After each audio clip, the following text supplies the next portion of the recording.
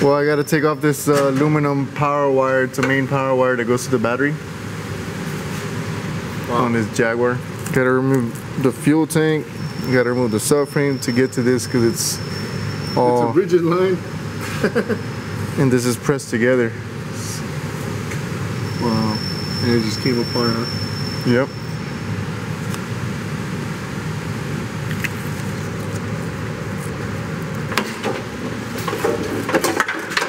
Hey, I helped.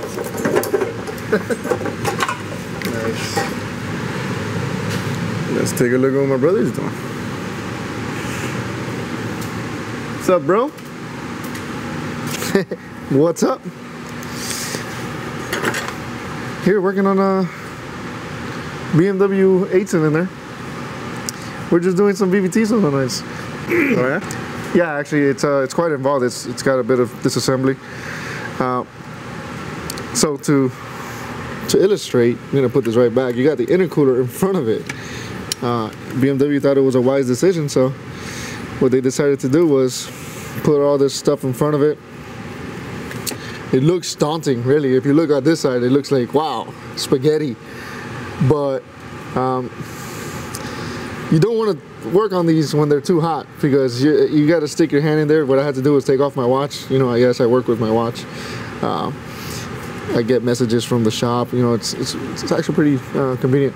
But anyway, I stuck my hand in there and I was able to get to the to the bottom bolt here. This is a three bolt uh, air uh, charge air cooler. Take off this clamp right here, and there is a one-time use clamp right there. And you might be tempted to cut that and remove it, but I would say do a little more digging, a little more of a visual inspection, and you'll see the uh, screw type clamp down here. It's a six millimeter. Yep. And you know, just remove the purge valve out of the way. And you don't need to remove the coolant lines, which is pretty nice. Some people might be tempted to, because you, when you, when you see all that stuff, you're like, oh well, maybe I should take all this stuff off. But no, it's not. It's not as bad as one would think. Yeah, these are notorious for having leaks, for having all kinds of coolant leaks and, and problems here. Um, actually, these engines are notorious for all kinds of things. You name it, it it does it. It it fails. So, you know, I like BMWs a lot, but this is not their greatest engine. and obviously, we had Vanos codes. Vanos is the uh, VVT, the variable valve uh, timing system. When you hear about Valvetronic, that's variable valve lift. People confuse them all the time. I know I got confused when I first saw them, but Valvetronic is variable valve lift, which has nothing to do with the phasing of the cam timing, um, which is the VVT function. Um, but yeah, that's pretty much it. Show me what you got here. I've got an injector tester from Snap-on here. It's an old school one and it, it, gives me the option to manually open and close with the start with the press of a button because if I try this it'll it'll give me a pulse but it's much too fast for what we need. If you can zoom in here I want you guys to see something. So I'm gonna manually at, uh, actuate this VVT solenoid. I don't know if you can see that in the camera but it when I let it go it slowly retracts See that? Can you see it in the camera? Yeah, you can see it. So when I go to a good one, which is the exhaust one, I'm gonna actuate it and it retracts immediately. When I go back to my bad one, it slowly comes back down. So that's not good for us because VVT solenoids are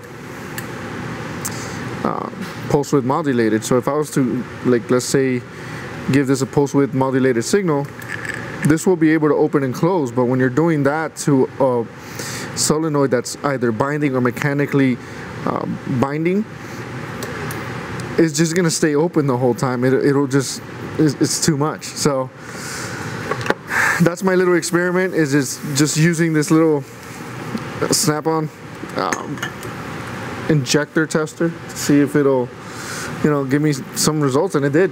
You know, do you need to do this? Not really, but uh, it had it had a connector already for it. That's perfect.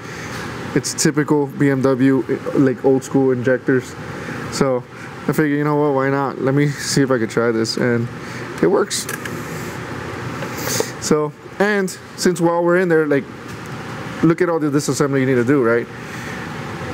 Why change one? So we're gonna recommend both. Even though one of these may be good at this time, uh, I'm not gonna reinstall. They're both going through the same amount of work, you typically. So I, I don't feel good about just putting one new one and one old one. And if something happens, then we have to go back in there and do it all over again. So we're recommending both. Ideally, we do all of them, but we're just gonna go with these two on this side this time. Quite, quite, uh, quite frankly, I, there's, no, there's no way I could just do diagonally videos. I, I tried to do that this whole time brought in some tool review videos, but I think now it's time for you know what let's let's go let's go see what what we're doing in the shop. Um, so yeah, it's different. This might be episode one. I don't know what I'm gonna call it. What do you think I should call it? What are you doing? what are you doing? Episode one, or what you working on? Episode one. Let me know what you guys think in the comment section. So we got the new ones actually. That just came in. And we're gonna do the same exact test. Hopefully my brother can zoom in all the way here. And it's cleaner, so you should be able to see it. Uh, let me know when you're zoomed in so we could uh, do this. Try it out. Go ahead. See that? Super fast retraction, no binding. And I guess another takeaway is test your new test your new parts before you install them. So this is good. Hopefully you'll be able to see the old ones doing uh, what we said it was doing. So test don't guess, baby. Is it true also that you're not supposed to activate it for a long time, just Yeah. a very short period? Right. You're not supposed to do that. They're not. They're, not designed to withstand like extended periods of, of activation. So, The only quick second. Yeah. quick. because you you'll burn it out. you either burn it out or you can burn out the whatever it's driving it, the transistor that's driving it. You know, obviously this is not. This is just a switch. It's more than capable of of handling the amperage, but you know. Anytime you've ever seen a computer uh, hold down, like let's say a coil, or any transistor hold down or activate something for extended period, uh, periods of time, it doesn't end well for the transistor.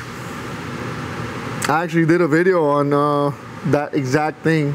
Uh, the coil was either shorted or the transistor was stuck on at all times until it killed the coil, and the driver died too. And the the shop that gave it to us, they uh, put in a coil, but the misfire was still there, and we went ahead and found that the DME had the transistor burnt up, and uh, we went ahead and replaced it. Uh, I'll try to remember to put that in the descriptions if you guys are interested in seeing that. It's the same engine, same design, and uh, yeah, we were able to open it up, change out the, the transistor, and fix it for the customer. So they were pretty happy about that one. Save some money. This is the N63 engine, big old eight cylinder. Uh, very problematic engine. very problematic. Did I say Well, it was there you have problematic? it, fellas. Super Mario at work. Yeah, I figured I'd pick up the camera since I never do, and uh, honestly, it feels a little natural. Yeah, you should do it more often. We need a. What do you guys think? Put my brother more on the cameraman position. and when he's waiting for parts, he comes on over to see what I'm doing. We got more stuff too, but you know, that's for another. That's for another video.